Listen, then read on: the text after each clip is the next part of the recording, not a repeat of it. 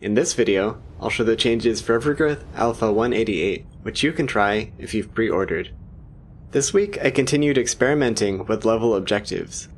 First, I added this victory trigger hotspot. If the player enters it, then the level is completed. The exact behavior depends on the level objective. It can be set up to only trigger if there are no hostile characters currently pursuing the player. This is useful for stealth levels, because it prevents the player from just rushing past enemies and ignoring them. Now they have to pay attention to the guards and choose how to deal with them. Another new hotspot indicates multiple areas that must be visited before the level can be completed. One use for this hotspot is in race levels that need a more complicated route than just a straight line from start to finish. The last new hotspot indicates where the player must bring collectible items.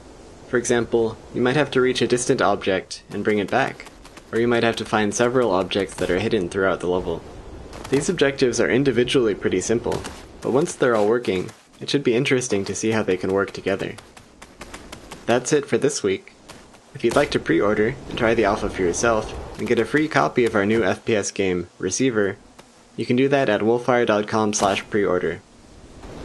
If you'd like to hear about development news as soon as it happens, you can follow me on Twitter at Wolfire.